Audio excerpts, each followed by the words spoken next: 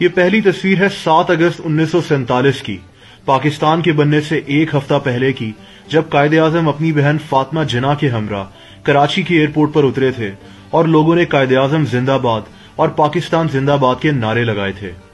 ये तस्वीर पाकिस्तान बनने के फ़ौरन बाद की है, जब पाकिस्तान के पास रिसोर्सेज बहुत कम थे और बहुत से सरकारी ऑफिसर्स को इन टेंट्स में बैठकर रोज़मर्रा के काम करने पड़ते थे।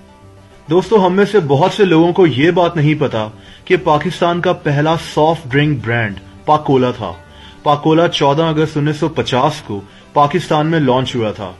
ये पाकोला की पहली बोतल की तस्वीर है। पाकोला आज भी मार्केट में अवेलेबल है। इसी तरह पाकिस्तान का पहला five star hotel the Metropole था। ये कराची में 1950 में तामीर किया गया था। ये तस्वीर इसी होटल के पोस्टर की है। इस पोस्टर पर आपको फारसी भी लिखी नज़र आएगी। उसकी वजह यह है कि इस होटल का इफ्तः शाह ऑफ़ ईरान ने किया था। दोस्तों, पाकिस्तान के पहले ट्रैफ़िक सिग्नल्स 1950 की दिहाई में मुतारिफ कराए गए थे। ये ट्रैफ़िक सिग्नल्स सबसे पहले कराची में लगाए गए थे। ये पोस्टर उन्हीं पहले ट्रैफ़िक सिग्नल्स के बारे में था। इनको the General Electric company of Pakistan ने बनाया था। कराची में सबसे पहले टेस्ट के तौर पर 16 सिग्नल्स लगाए गए थे। दोस्तों, ये तस्वीर है जब पीआईए को 1955 में लॉन्च किया गया था। 1955 में ओरिएंट एयरवेज नामी एयरलाइन को पीआईए में तब्दील कर दिया गया था। दोस्तों, ये तस्वीर इंतहाई तारीखी है। ये डायरी का वो पेज है जिस पर शायर हफीज जालंदरी ने पाकिस्तान का कौमी तराना पहली दफ़ा 1952 में लिखा था। हमारे कौमी तराने का म्यूज़िक इससे तीन साल पहले ही, यानी 1949 में, अहमद चावला ने कंपोज किया था। 1954 में इस तराने को पाकिस्तान का ऑफिशियल तराना डिक्लेयर कर दिया गया था। दोस्तों, ये तस्वीर है पाकिस्तान की पहली ब्यूटी क्रीम के इश्तेहार की। इसका नाम तिब्बत स्नो क्रीम था। इसको कोहिनूर केमिकल प्राइवेट लिमिटेड नामी कंपनी ने बनाया था। मेरे ख्याल से तिब्बत स्नो क्रीम आज भी मार्केट में अवेलेबल है। और दोस्तों, ये इश्तेहार ब्रायल क्रीम का है, जो कि बालों के लिए इस्तेमाल की जाती थी। ये इश्तेहार 1955 में लॉन्च हुआ था और इस इश्तेहार में पहली दफ़ा किसी भी पाकिस्तानी क्रिकेटर को एज अ मॉडल इस्तेमाल किया गया था। तस्वीर में पाकिस्तान के मशहूर फास्ट बॉलर फजल महमूद नज़र आ रहे हैं। ये तारीखी तस्वीर दिसंबर 1965 की है, जब प्रेसिडेंट अयूब खान अमेरिका के दौरे पर थे और इन्होंने अमेरिकन प्रेसिडेंट लिंडन जॉनसन के गाल पर हँसते हुए एक दोस्ताना यानी फ्रेंडली स्लैप मारा था।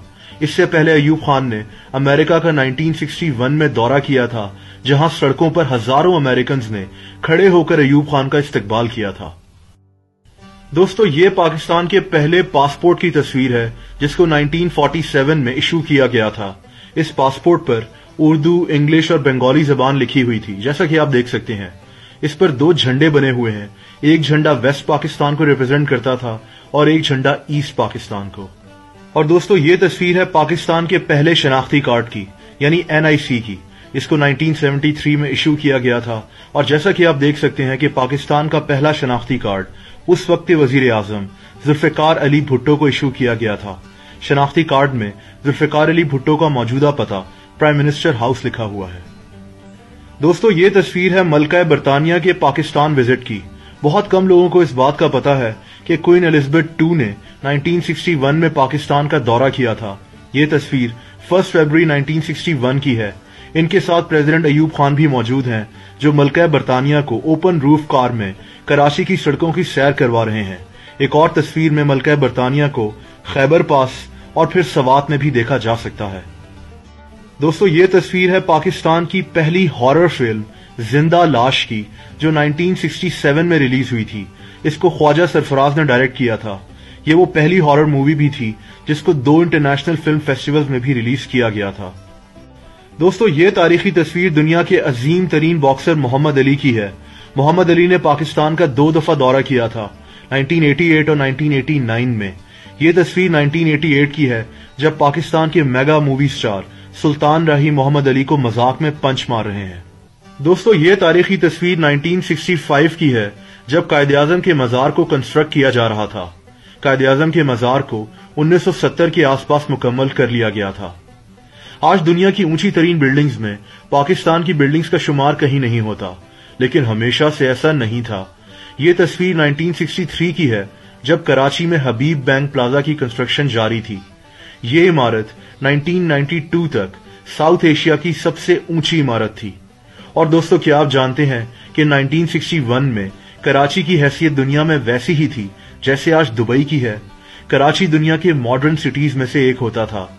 कराची में अरब शहजादे छुट्टियाँ गुजारने के लिए आते थे। और इस तस्वीर को देखिए।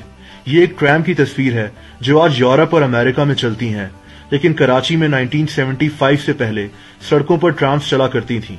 लेकिन 1975 में इनको बंद कर दिया गया था।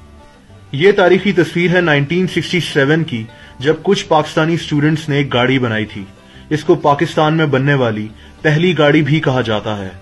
इस गाड़ी को लोग जल्द ही भूल गए और इन स्टूडेंट्स को पाकिस्तान से बाहर स्कॉलरशिप पर पढ़ने के लिए भेज दिया गया था।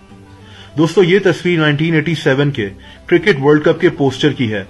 ये वर्ल्ड कप पाकिस्तान और इंडिया में मुनद हुआ था और ये तस्वीर 1990 के हॉकी वर्ल्ड कप के पोस्टर की है। ये हॉकी वर्ल्ड कप भी पाकिस्तान में मुनद हुआ था। और दोस्तों, इस वीडियो की आखिरी तस्वीर है 1982 अक्टूबर की। ये लिस्ट कराची एयरपोर्ट पर लगी हुई थी। उस दौर में आने और जाने वाली फ्लाइट्स के बारे में ऐसे बताया जाता